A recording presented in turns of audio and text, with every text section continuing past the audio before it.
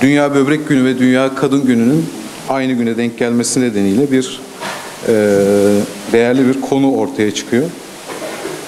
2018 Dünya Böbrek Günü teması kadın sağlığı.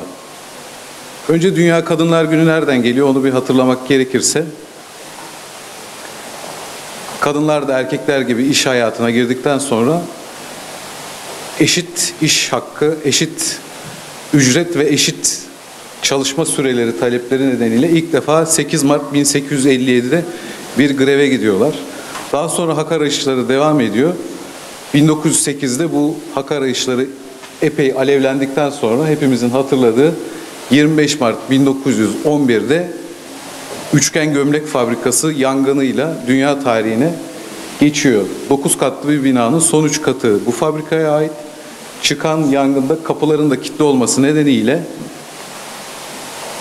175 civarında bazı gazetelere göre 146 bunların %90'ı bayan kimisi yanarak kimisi kendisini apartman katlarından aşağıya attığı için vefat ediyorlar ve 8 Mart bundan sonra Dünya Kadınlar Günü olarak anılmaya başlanıyor. Sanırım kadınlar için bu kadar konuşmak yeterli. Peki Dünya Böbrek Günü ne zaman başlıyor? Ee, 2003 yılında Doktor Kopel'in Uluslararası Böbrek Vakıflar Federasyonu'na verdiği teklif sonrası ilk defa 9 Mart 2006'dan itibaren Dünya Böbrek Günü kutlanmaya başlanıyor. Tarihi her Mart ayının ikinci perşembesi olarak belirleniyor. Bundan önceki Dünya Böbrek Günü temalarımız şöyle bir hatırlarsak 2010'da diyabet, 2010'da kalbini koru, 2012'de böbrek bağışının önemi, 2013'te akut böbrek hasarını engellemek, 2014'te böbreklerinde yaşlanan organlar oldu, 2015'te herkese sağlık, 2016'da çocuk sağlığı ve geçen yıl şişmanlıktan sonra bu yıl kadın sağlığı teması işleniyor. Benim bugün üzerine durmak istediğim kadın ve erkek eşit mi? Bazı açılardan evet. Öncelikle düşünce tarzında bile kadınlar ve erkekler birbirinden farklıdır. Hepimizin kabul etmesi gerekir ki. Fakat bu eşitliği yaratan bazen kendimizdir. Hepimiz özellikle kadınlar Halime Çavuş'un öyküsünü hatırlarlar. Kurtuluş Savaşı sırasında cephede vefat eden sözlüsünün ardından erkek kılığına girerek cephede savaşmış, orduya katılmış, İstiklal Harbi sonrası kendisine maaş bağlanmış ve hediye edilen üniformayı ben gelinliğimi bugün giydim diyerek üzerinden bir daha çıkarmamış değerli bir kadınımız. Günümüzde kadınlar erkeklerle epey konuda eşittir. Pek çok meslekte doktorluk, askerlik kadınlar da çalışmaktadır.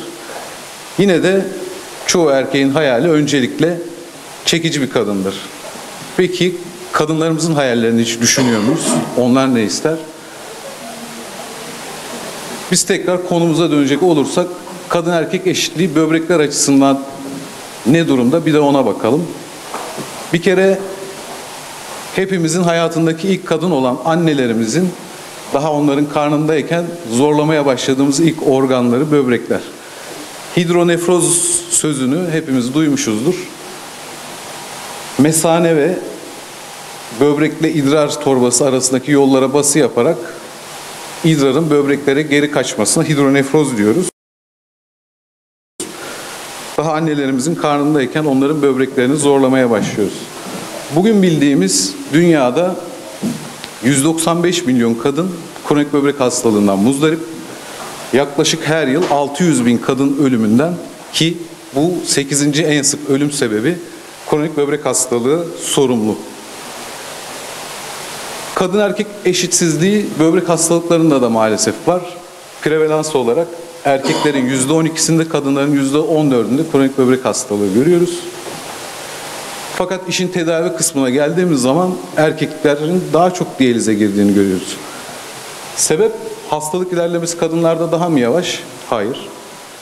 Sosyoekonomik sebeplerle kadınların geç tıbbi kontrolleri, diyalize hiç başlatılmaması maalesef tedavi gören kadın popülasyonun daha az olduğunu gösteriyor.